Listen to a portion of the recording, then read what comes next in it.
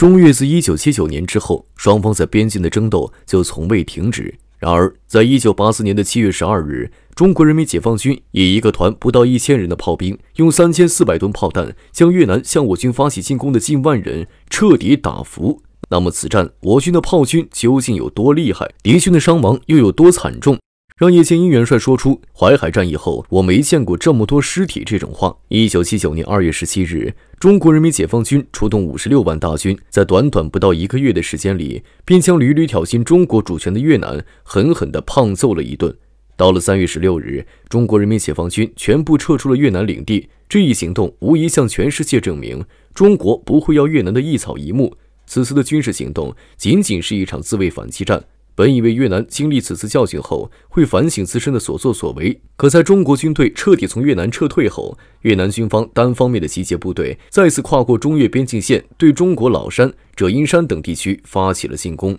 期间，中方多次警告，但越南军方却选择无视。没多久，越军就占领了原本属于中国的老山等地区。而他们在占领老山之后，越军依托于当时的地形，在这里修建了大量的战壕、掩体、藏兵洞等军事设施，甚至在距离还拉起了铁丝网，布下了大密度的混合雷场。再加上军事堡垒里越军的机枪手，可以说越南军方在整个老山地区形成了一个能打、能守、能藏的防御阵地。越南军方之所以在老山部署的如此周密，看重的就是老山的这个地理位置。老山位于中国云南省文山州天宝镇驻地船头以西，中越边境口岸船头西南五公里处的中越边境旗线点上，主峰高达一千四百二十二点二米。向北可看到中国境内纵深二十五公里以内的地区，向南可侦察到越南老寨、清水以南等二十七公里以内的地区，向东可封锁中国至越南的主要通道与口岸。西北部还能直接通向中国云南省的中心，战略位置可谓是十分重要。然而，占据老山等地区，这还是越南报复中国的第一步。当他们在老山等地部署完军事装备后，便开始在中越边境袭击中国平民。期间，越南军队用迫击炮炸死大量正在上课的中国师生，用狙击枪当杀人游戏，残忍杀害中国农民。据1984年新华社报道，自1979年至1984年以来，越军不断向中国境内农场、村寨、学校开枪开炮，发射各种枪弹四万余发，打死打伤我边境居民二百三十五人，迫使边民离开家园，血居岩洞，致使三万一千七百九十三亩土地难以耕种和管理，数十万亩橡胶无法收割，五十二所学校被迫停课，学生不能上学读书。边疆各族人民强烈要求边防部队严惩越南侵略者，保卫祖国领土和边疆群众生命财产的安全。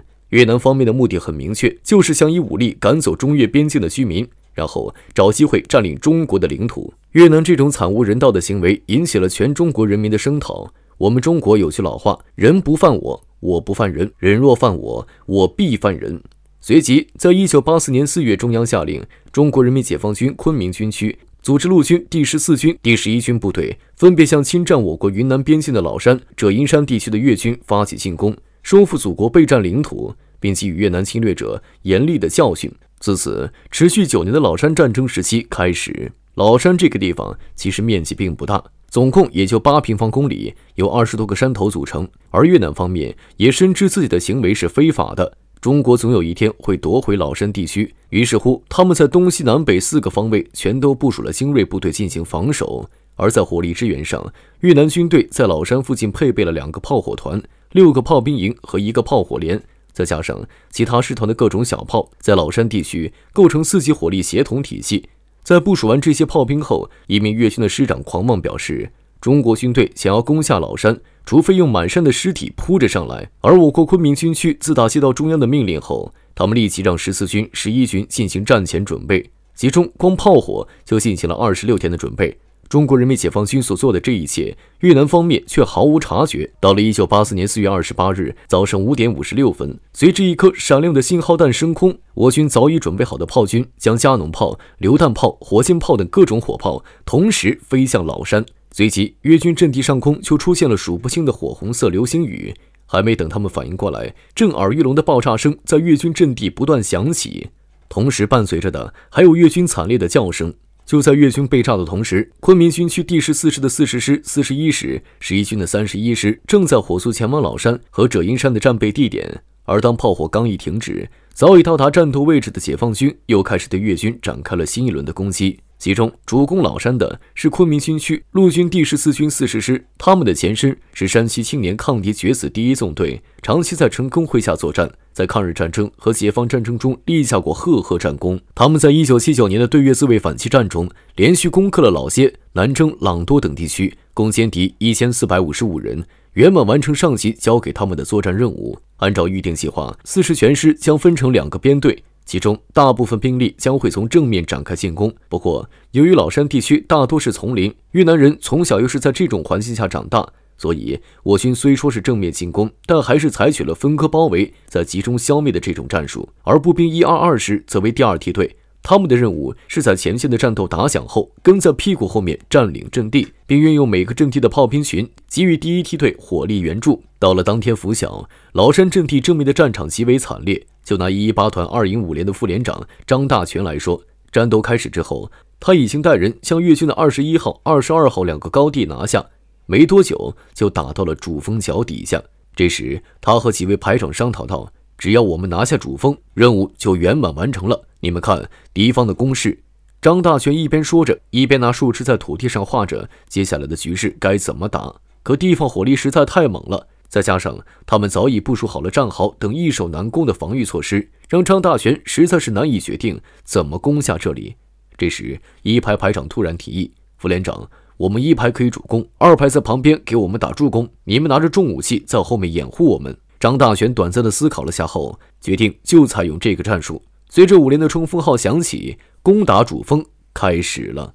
按照之前的预定战略，突击队运用三方交叉掩护的战术，逐渐向老山主峰的阵地逼近。你还别说，这个战术真的好用。在五连有序的攻势下，在此防守的越军不断收缩着防御圈。当越军第一道防线被我军突破后，我军以此为阵地，开始向第二道防线进攻。根本不给敌军任何喘息的机会。可当五连战士正在向第二道防线进发的时候，意外发生了。老山主峰是由南北两个小山头组合而成，这就导致中心有一百米是凹地。而当我方先头部队一排到达这里时，立刻遭到早已在高处埋伏好的越军，他们运用重火器、喷火器、手榴弹，向处在凹地的我军发起了突然袭击，这让一排的战士们瞬间死伤大半。而在后面看到这一情况的张大全急红了眼。然后亲自带领二排的战士向埋伏好的越军展开猛烈的炮火攻击，同时还向紧急呼叫指挥部，让我方炮兵向敌人的第二道防线开火，保证一排战士的生命安全。老山主峰的越军本来以为计谋得逞，没想到我方的火力突然变得这么猛，没办法，只能找掩体躲避，这让一排的战士们有了撤退的机会。当他们回到第一排防线清点人数时，发现几乎整边的一个排只剩下三个完好的战士，六人重伤，其余人全部牺牲。但这时不是伤心的时候。随即，张大全重新将人物和武器进行了分配，并根据敌情重新做了一份攻击方案。随后就展开了第二次攻击。张大全抱着一挺轻机枪，亲自带人冲锋，后方则留下重武器做火力掩护。在冲击过程中，敌方子弹将张大全的右手直接穿透，但他没有停下脚步，而是一边往前冲，一边将机枪的背带挂在自己脖子上，然后用左臂稳定机枪，并扣动扳机射向敌人。就是这样猛烈的攻势，不到二十分钟，五连的战士们就攻占了老山主峰的第二道防线，并占领了表面阵地。可狡猾的越军并没有放弃这里。他们躲到地下掩体里，然后用电台呼叫他们那里的炮兵，要求对老山主峰进行覆盖式的炮火攻击。正当五连的战士们收拾残局，请示上级，准备开始下一次作战任务时，越军的炮弹来了。由于是覆盖式攻击，炮弹就像下雨一般砸向了老山主峰。而五连刚攻下这里，根本没有任何掩体，只能被动挨打。而张大全的右大腿在此次轰炸中被炮弹碎片炸伤，腹部也被弹片炸出一个洞。肠子和鲜血喷涌而出。然而，轰炸刚一结束，藏在掩体的越军爬出来，开始向五连发起进攻。而张大全这边将掉出来的肠子塞回肚子里，捂着伤口，看着乌烟瘴气的周围和损失惨重的五连，瞪着血红的眼睛，高喊道：“兄弟们，我们五连从来没有怕过谁，今天就让他们越南人看看我们中国人民解放军的血性！我们以死相拼，做最后一次进攻，活着！”我们就站在主峰之上，死了我们就瞪大眼睛躺在这里，冲啊！最终，张大全在此处壮烈牺牲。除此之外，还有太多太多的英雄们在此次战争中牺牲。为了后续部队前进的脚步，五连九班集体拿身体趟雷阵，炸倒一个再上一个。他们前仆后继，眼神坚定，硬是用血淋淋的身体开出了一条宽三米、长二百米的安全通道。还有无数为了祖国安全而牺牲的战士们，正是他们的付出，才换来了我们如今的和平。而我军共花费了五个小时，收复了老山主峰。接着，大部队继续向前推进。最终，我军战士经过十八天的浴血奋战，又收复了老山以东的八里河东山、遮阴山等地。自此以后，越军在六月又组织了两次以团级规模的反击作战，不过均被我军击退，并付出了数千人的伤亡代价。这时，越南高层可急了。要知道，老山和者阴山这两个可是战略要地，如今在这么短时间丢了，他们决定一定要重新侵略这两个地方。而我国根据可靠消息得知。越南方面并不会善罢甘休，他们会在七月十二日左右发动一次大规模进攻，不过具体时间却尚不可知。不过，在一九八四年七月十一日晚，我军前线侦察兵发现越南军队已经开始向老山附近进军，随即我军指挥部命令炮兵某某师准备好二点五个基数的弹药迎敌。要知道，一般的战斗部队自身也就携带一个基数，而此次上级命令二点五个基数。可见火力打击强度之大和我军对此次战斗的重视程度。到了七月十二日凌晨三十分，我军电台检测到附近敌方的无线电信号发出了“准备完毕”这四个字。而当我方技术人员捕获到这一信号后，根据无线电信号的波长和频率，用测向仪和测距仪对敌人的位置进行了追踪。最终计算出越军集结军队的位置，在距离我军防御阵地前沿的五到十公里。有了方位和距离，我军指挥部立即制定了作战方案。经过商议，我军准备以猛烈的炮火将敌方重创，打乱敌方的进攻队形，然后再让步兵出击，彻底歼灭进攻的敌人。到了凌晨三点，战场经验丰富的几位炮兵指挥官推测，这时敌军的位置应该距我军前沿阵地五百米左右，随即指着地图上一点说道。就是这里，先给我来两轮齐射，让他们尝尝老子的厉害。随后，一百三十毫米、一百二十二毫米、八十五毫米等榴弹炮、加农炮一齐发射。可三轮齐射过后，前方什么反应都没有，这让炮兵团长赵团长感到纳闷：难道自己这边预测错了？随后，他又下令发射一枚照明弹。可通过望远镜发现，被炸过的敌方硝烟密布，什么也看不清。但按照平时的交战经验来看，一旦我方炮兵袭击越军，敌方肯定会进行反击。可现在来看，被炸的地方没有丝毫动静，难道我方指挥官真的错了吗？其实并没有，这一切都是越军设下的弥天大计。当时越军确实就在阵地前沿五百米处，我军判断的方位也没错，炮兵炸弹准确地落在了地方隐蔽的队形中。并且越军两个营长当场被炸身亡，士兵也死伤惨重。可这些人并没有一个给予还击，甚至伤员连叫声都忍住了，因为他们接到的命令是：没有得到命令，不准出声，不准射击，一定要在凌晨五点，中国军队最放松警惕的时候发起进攻。而越南军队这样的反应，就给我军造成了一个假象：难道是侦察兵判断错误，只是丛林动物居多造成的动静？最后，我军除了一线的警卫部队，其他人都放松了警惕。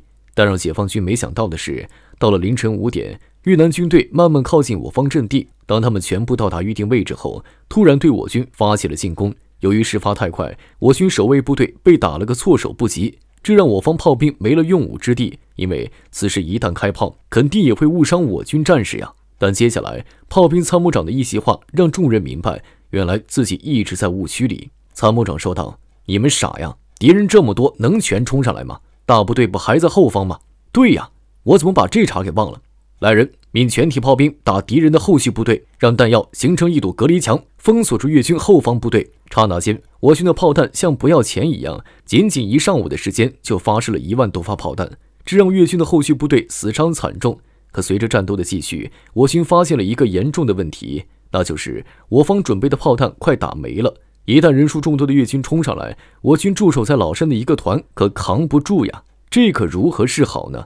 这个问题，炮兵团长其实早就想到了，所以在拂晓一开炮，马上让后勤部队调过来四百七十卡车的弹药。虽说中午由于弹药紧缺，停歇了一个小时的炮火支援，但在下午一点，后勤部队运来大批炮弹，再次开启了火龙模式。在持续的炮火攻击中，只见越军的后方阵地一片火海。黄色的火焰中似乎还带着红色的血液。最终，在我军强大的炮火之下，越军选择撤退。七幺二这一战让越军在松毛岭上留下了三千七百多条生命。从远处看，这里简直成了血山；而从近处来看，一眼望去全是尸体。就连叶剑英元帅看过战场录像后，都不禁说道：“自淮海战役以来，我还没有见过这么多敌人的尸体。”而在一九八四年的七一二炮战之后，让越南深深感受到了与中国之间的差距。于是，在此他们就停止了对中国的小规模骚扰行动，最多就是以团为单位的摩擦。同时，此战一经传出，让全世界看到了新中国的炮兵战力，打出了我国军威。